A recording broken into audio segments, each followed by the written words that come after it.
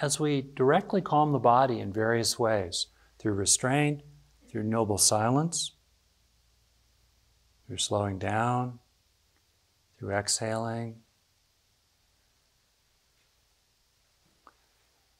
As the body calms, that helps us calm interpersonally, helps us be more at ease and centered with what is happening in our relationships.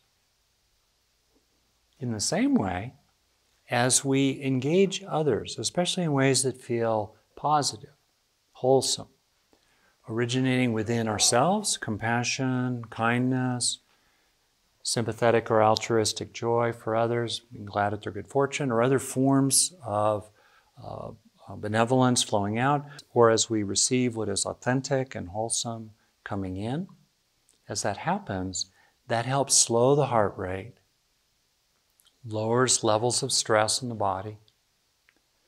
That strengthens the immune system and over time protects the heart itself from stress or loss or physical illness or challenge. They work together. So as we cultivate kindness and compassion and goodwill and other reflections, and as we release ill will, as the Buddha taught, and as we exercise care so as not to harm others, not to harm ourselves, that strengthens and stabilizes and steadies and fortifies the very body.